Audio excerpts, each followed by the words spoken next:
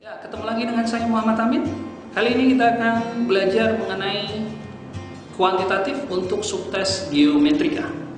Nah, di subtes geometrika biasanya pertanyaannya adalah seputar garis, sudut, bangun datar, atau bangun ruang. Nah, untuk lebih jelasnya kita lihat di contoh berikut. Yang pertama, disajikan sebuah gambar yaitu persegi, kemudian ada bagian yang diarsip seperti gambar di sini.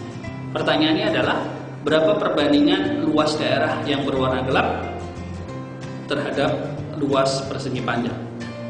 Nah, kita tidak perlu menggunakan rumus. Sekali lagi ini soal TPA, berarti sebenarnya jauh dari kata rumus. Maka kalau kita perhatikan di gambar ini, coba bagi menjadi segitiga segitiga.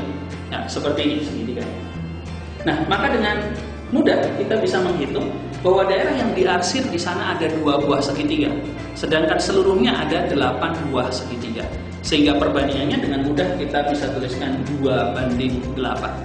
Nah di pilihan jawaban tidak ada yang menyatakan dua banding 8 Tapi yang belakang menyatakan 16 Sehingga kalau tadi kita punya dua banding 8 Semuanya kita kalikan dua Maka akan diperoleh perbandingan 4 banding 16 Sehingga jawabannya adalah yang C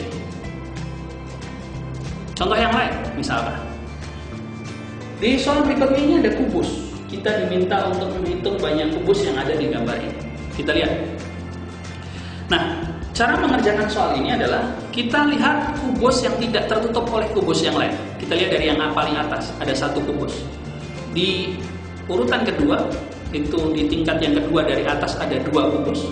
Berikutnya ada tiga kubus dan yang bawah ada kita hitung 1, 2, 3 4, 5, 6, 7, 8 ada 8 kubus tapi bukan berarti banyak kubusnya hanya 1 tambah 2 tambah 3 tambah 8 ingat bahwa ada kubus yang tertutup.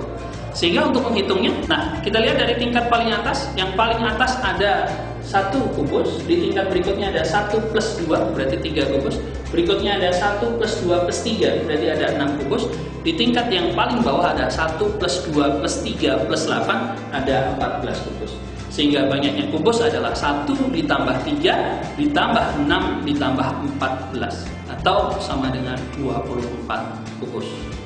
Nah, sekali lagi untuk menjawab soal geometri sebenarnya tidak membutuhkan rumus yang banyak, hanya pengetahuan dasarnya. Nah, untuk lebih jelas mengenai dasar-dasar geometri bisa dilihat di buku. Sekian untuk modul kuantitatif subtes geometrika. Kita jumpa lagi di modul selanjutnya.